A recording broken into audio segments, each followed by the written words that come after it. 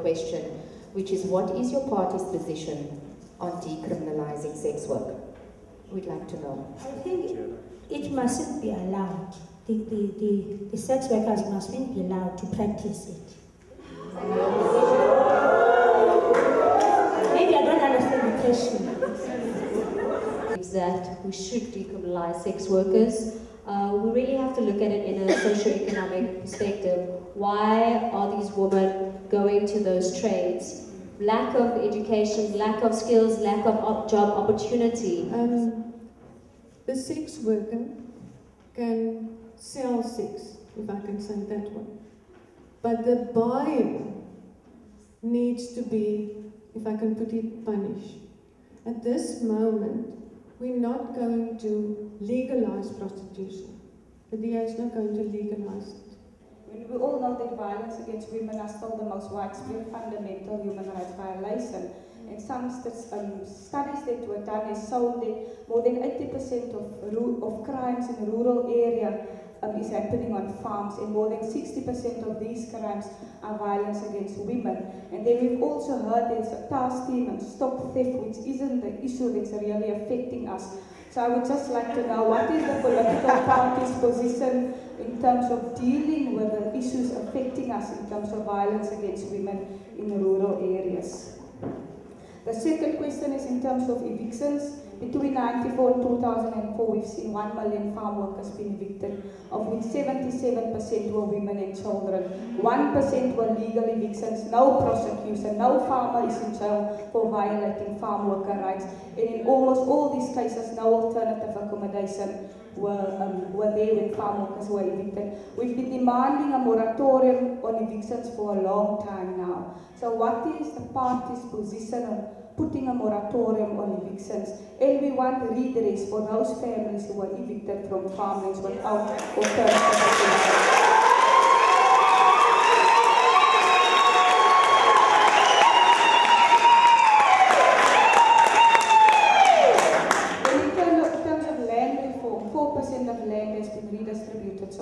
government has a 30% target is running out. They're not going to reach the 30% target. And the ANC government has a freedom charter that says the land shall be shared amongst those who work the land. But we do find that farm workers do not own land, so we support expropriation. So what do your party say on expropriation? And we do not want. That's why land reform is not working. The farmer must be willing and then it's market-related prices. I mean, if it's not working, then we need to make decisions and start taking over land.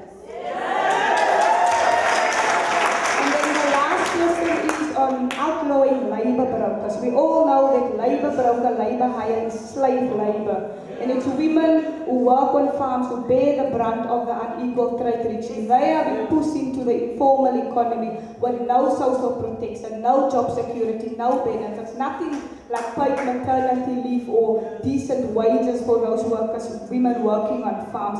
And what is the party's position on outlawing cheap labour hire in South Africa?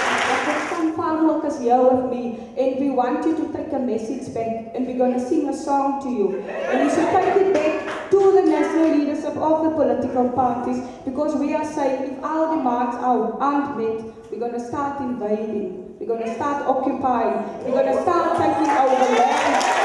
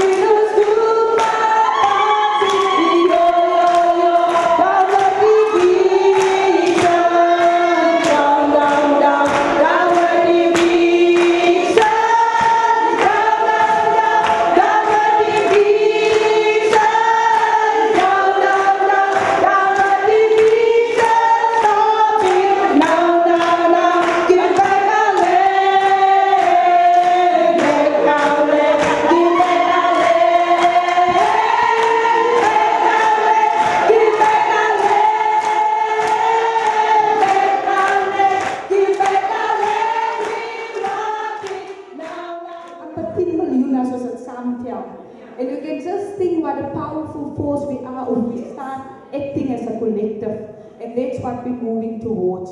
We've been denied our human rights for too long. We've been forgotten for too long. But soon, very soon, we're going to stand up and we're going to show that we're also here. And then the political party's going to get a shock because we're going to use our vote.